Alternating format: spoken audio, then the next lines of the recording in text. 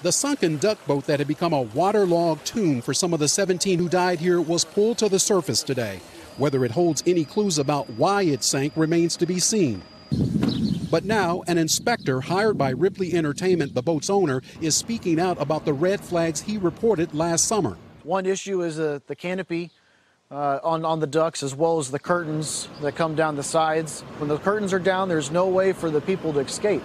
Stephen Paul says his inspection report questioned the seaworthiness of the boat's design, especially when the roll up window curtains are down and locked closed, raising concerns about escaping in an emergency. There is escape from the back. If you can imagine being in a, in a sinking ship like that with only one exit, it uh, it'd be be devastating. He says people trying to get out can be pushed into the canopy by rushing water and trapped. Ripley Entertainment has not responded to NBC News about the report. If I was able to get a life jacket, I could have saved my babies. Today, life jackets could be seen dangling from the roof of the wreckage. Tia Coleman, whose husband and three children died, said the captain told them they weren't needed. They could at least floated up to the top and somebody could have grabbed them.